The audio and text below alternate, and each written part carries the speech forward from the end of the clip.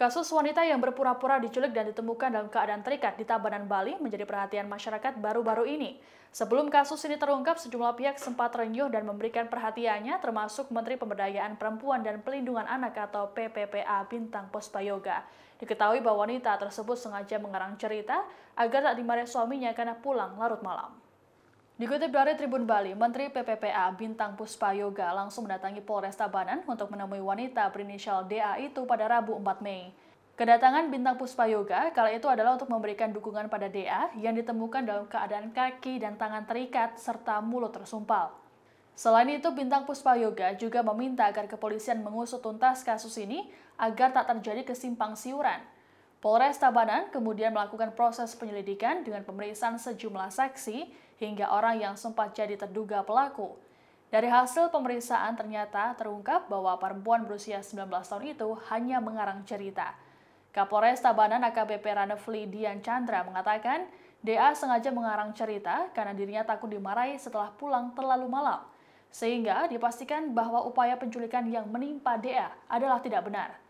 Polisi juga melibatkan ahli psikologi untuk memeriksa kondisi kejiwaan DA. Dari pemeriksaan lebih lanjut, ternyata DA pergi bersama seorang lelaki yang baru saja ia kenal lewat media sosial.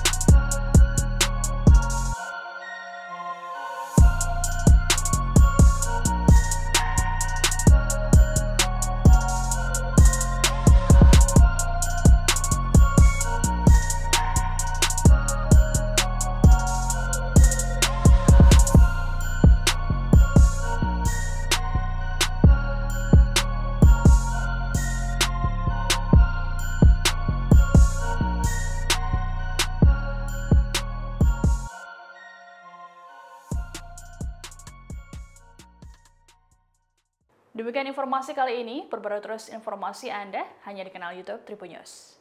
Terima kasih sudah nonton. Jangan lupa like, subscribe, dan share ya.